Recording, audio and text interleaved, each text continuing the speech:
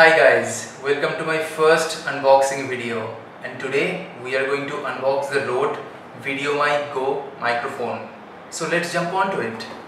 Actually I chose the VideoMic Go over the normal VideoMic or the VideoMic Pro.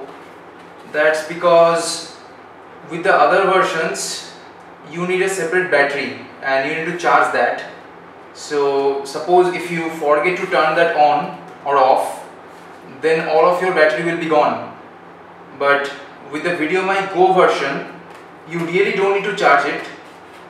And if you just plug it in with your camera it's going to take all the power from the camera itself.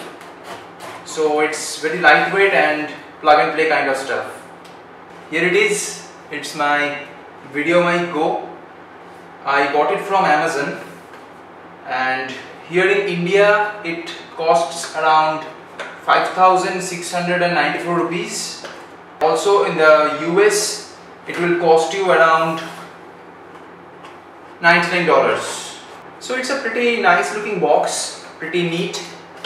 Uh, let me open this thing up.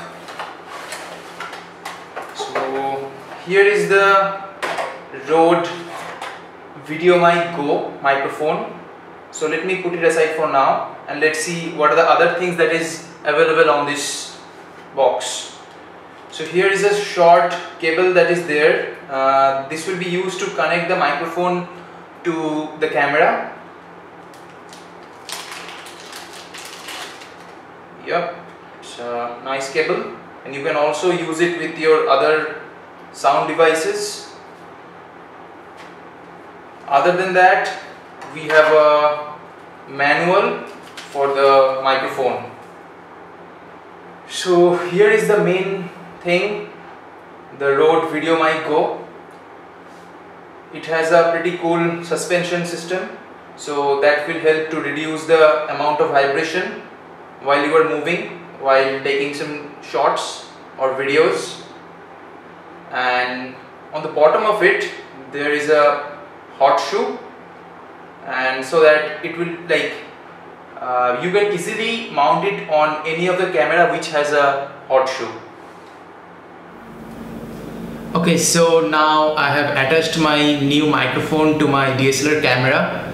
And if you guys notice a sudden increase in the audio quality so that's really because of the microphone.